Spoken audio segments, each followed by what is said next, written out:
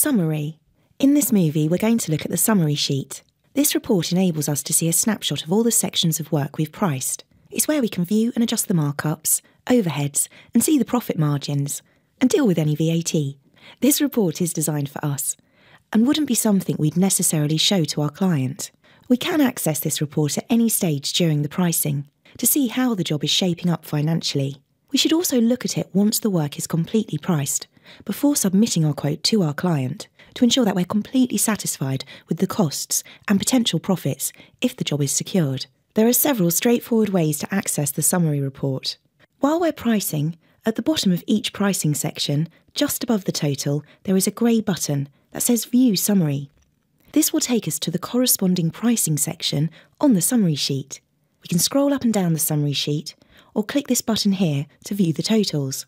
Alternatively, once the work has been priced and we have worked our way down to the very bottom of the pricing sheet, we can click the Go to Summary button. Again, we'll be taken to the summary sheet. The other option is to use the tabs at the top of the programme. We click Reports and click the Summary button. OK, so now we know how to get to the summary sheet, let's take a look at exactly how we can use it and get the most out of the information it provides. Every available section on the pricing sheet has its own box on the summary, where we're provided with a snapshot of the financial information. They're all laid out in the same way. We have the title of the pricing section that this information relates to here.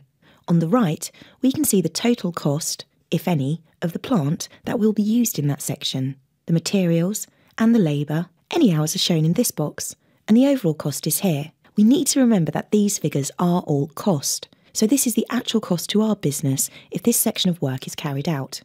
No markups, overhead percentage, or VAT is added onto the figures that are in these boxes. We can scroll down each section. We can check that all pricing sections that we want to include have been priced. It also provides an opportunity to check over the figures. For example, if we look at a section and any of the financial values or hours seem higher or lower than what we're expecting, we can click this button here and we'll be taken back to the top of the pricing section. We can check over the details that have been entered to ensure they're correct. We can then use this button, that's located at the bottom of each pricing section, to return to the summary. Individual boxes that hold the snapshot details of each pricing section are colour coded. By default, they're grey, but as we go down, we'll see that there are some peach coloured ones. This is because these sections of the pricing sheet have been entered as a PC sum. We'll look at how PC sums are dealt with in the summary sheet shortly. The colour coding is a simple to use reminder of how the cost is being dealt with. Where applicable, we can still see the breakdown of the financial values and hours in these PC sum sections. Once we've got to the bottom of the list of pricing sections, we can view the costs of the job on a square foot or metre square basis. Let's look at the square foot information. So we have the total area of the job in square feet. Next, we can see the cost per square foot. So this is the cost to us with no markup, overheads, or VAT added. Below this, we can see the quotation price per square foot. So this is the amount the client would be paying us per square foot. This does include any markups, overheads, or VAT that have been added. The square metre information works in the same way. So we have the area of square metres for the job as a whole. Here is the cost to us per square metre. So this figure doesn't have any markups, overheads, or VAT added. Here is the price per square metre that the client would be paying if we did the job for them. This amount does include any markups, overheads, or VAT that have been added. We also have the overall price information for the whole job here as well. If we click this thumbnail, we can see the floor areas that are included in the total metre square floor area. Next, we have the section of the summary that enables us to add on unique markups to the different elements of the work. They all work in the same way. Let's take a look. First, we've got the plant. In the grey header, we can see the total cost of the plant to us. Below this, we can see the financial value of the markup that will be added to this. We have complete control over this markup amount. It corresponds directly to the markup percentage that's shown here. See, if we change this to a different percentage by using the sliders, the markup amount changes. As we can see, the total quotation cost that the client will be paying for this plant changes too all the other values that would be affected by this change alter automatically at the same time. The same process applies to our materials. So here's the actual cost of these materials to us. No markup, overheads or VAT percentages are within this figure. Here is the amount of markup that will be added. Again, it directly relates to the percentage that's shown here. This is fully adjustable, and here is the total quotation price of these materials. The labour's next. Due to the additional work that's involved with organising and dealing with labour, it's likely that we'll want to set the markup higher. Again, here's the actual cost of the labour, and here's the financial value of the markup in relation to this percentage. We can use the sliders to change this, and here's the quotation price of the labour. Below this, we have the markup for the PC sums. Due to the nature of PC sums, these are dealt with independently. It's likely that any PC sums would be subcontracted out, so regardless of how we've broken up the costs on our pricing sheet between labour, plant and materials, the overall cost to us of each PC sum will be drawn together here and shown in this grey box. We can then view the financial value of the markup and change the markup percentage. Here, we can see the quotation price for the PC sums. An additional feature of PC sums is how they're presented to the client. As a PC sum is a provisional cost rather than an exact price, in any documents designed for the client, they're rounded up to the nearest £100.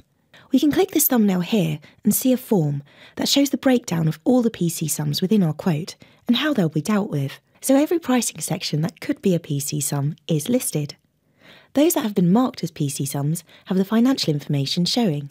So in this column, we can see the cost to us, next the profit that will be added, then the total. The final column shows the roundup of this total to the nearest £100. This is the total that the client will be provided with on their reports.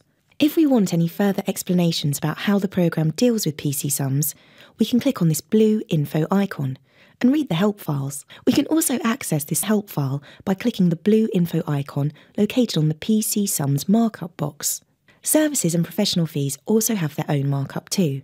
Again, we can see the cost to us of any services or professional fees within the quote, the financial value of the profit that will be added, and we can change this by using the sliders to adjust the markup percentage and the quotation price that the client will be paying for these. Below the boxes where we can add on our markups to the different elements of the work, we can see the overall financial information for the job. Let's take a look. The first figure is the gross percentage that's being added to the direct costs. So the programme's looking at the direct costs, then working out the overall percentage that's going to be added onto them. At this stage, unless we make the decision to not include any allowance for overheads, this is not to be confused with the clear profit percentage. The clear profit on costs percentage is here. We are allowing for overheads on this job, so we can see that this percentage is less than the gross. Here is the clear percentage of profits on the quotation price. We have mentioned overheads several times in this movie. When running a business, it's normal for there to be ongoing costs regardless of whether any actual building jobs are taking place. This would be things like office space and equipment, vehicles, their maintenance, insurance and fuel, an accountant, perhaps a secretary, phones, advertising, and so on. These are what's known as overheads. The money for these things needs to come from somewhere. So we can allow an overheads percentage or allowance on each job we do to cover them. By allowing for the overheads, it ensures we have a true indication of the clear profit that will be gained for our business from this job. We can adjust the percentage allowed for overheads by using the sliders, and we can see the financial value that's being allowed for them here. Below this, we can see the clear profit that will be made from this job. So this is the figure that's left once the direct costs and overheads have been taken out of the overall quotation price. Next, we can see the total direct costs. Below this, we have the total of all the markups, overheads and clear profit. And below this, we have the total quotation price. Finally, we can allow for any VAT that may be required. We simply put the VAT percentage for the job into this box. The programme will calculate the VAT by adding the percentage that is in this box onto the total quotation price. And we can see the financial value of the VAT here. Here is the total price for the job. This price will be inclusive of any VAT that has been added. We'll notice that there are blue info icons next to each figure listed in this final box. We can click these if we require any further clarification about what the figure is. To the left-hand side, we have a colour-coded pie chart. This handy visual reference shows us how the different cost elements of the job are broken down. OK, so we've now looked in detail at all the information that is available to us in the summary. We can see all of the direct costs and do have complete control over the markups and overheads. As mentioned at the start, this summary is designed for you and your business. There is a separate client summary they too can see a snapshot of the quotation costs, but the client summary has all the markups, overheads, and profits built in. There is a separate movie showing this in detail.